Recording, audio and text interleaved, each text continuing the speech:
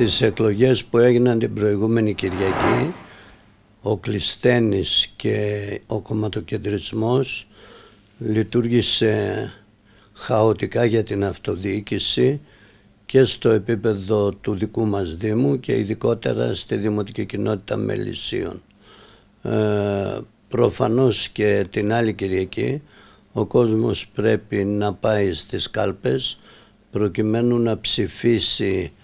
το δήμαρχο που θέλει μόνο με αξιοκρατικά κριτήρια αφού το πολιτικό περιβάλλον που έχει πλέον δημιουργηθεί ε, με όλους τους συνδυασμούς συμμέτοχους στο Δημοτικό Συμβούλιο απαιτεί έναν ε, δήμαρχο έμπειρο, γνώστη,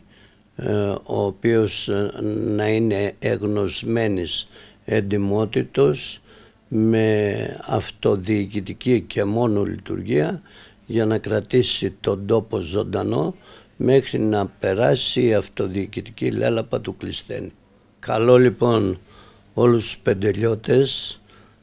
και τους μελισσιώτες να πάνε στις κάλπες την ερχόμενη Κυριακή σκεπτόμενοι μόνο το συμφέρον τους και το συμφέρον του τόπου μας και εάν αυτά τα σκεφτούν θα μπορέσουν να ψηφίσουν την προσωπικότητα η οποία μπορεί να στηρίξει τον τόπο τη δύσκολη αυτή αυτοδιοικητική περίοδο που προβλέπεται να ξεκινήσει με τη νέα θητεία.